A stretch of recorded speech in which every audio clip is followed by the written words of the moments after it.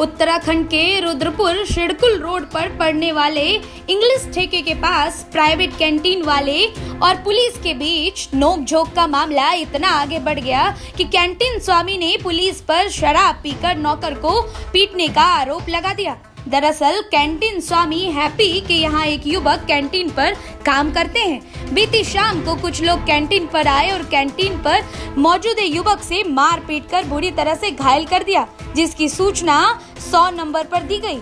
वहाँ दो पुलिस कर्मी कैंटीन पर पहुँचते हैं और जोशी नाम के व्यक्ति को पुलिस कर्मी ने जाते ही थप्पड़ जड़ दिया, जिसकी सूचना कैंटीन स्वामी हैप्पी को लगी। हैप्पी ने पुलिस कर्मी पर आरोप लगाया कि शराब पीकर पुलिस कर्मी यहाँ बवाल कर रहे हैं और मेरे नौकर को आते ही थप्पड़ मारा है।